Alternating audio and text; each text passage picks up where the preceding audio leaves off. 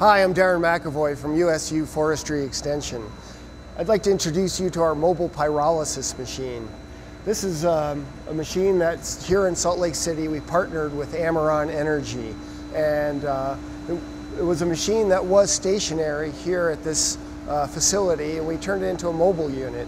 We mounted it inside of this storage container and we put wheels on it as you can see and, um, and this way we can drive it around our goal is to process woody biomass. And the idea is that wood is mostly air and water. It's really hard to haul. You can't afford to bring it out of the woods. So we bring this machine into the woods and we can pr process this material in the woods and haul out these higher value products.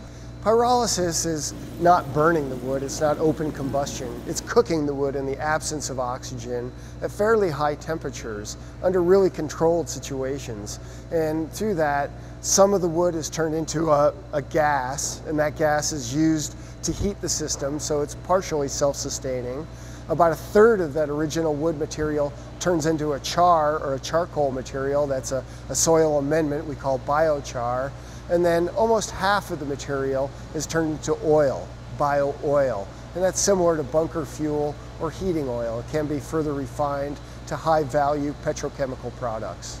So we can do pyrolysis on almost anything with carbon in it. We've done it Phragmites, which is an invasive swamp reed that's taken over large portions of the Great Salt Lake and uh, the state of Utah is very interested in controlling. Uh, we do focus a lot on pinyon juniper, as the BLM, for example, is already harvesting 40,000 or, or at least cutting 40,000 acres a year in Utah, pinyon juniper, mostly for fire hazard reduction and for um, habitat restoration. We've done oh, about 12 different kinds of material. In fact, even uh, old tires can be pyrolyzed and make an excellent, excellent oil.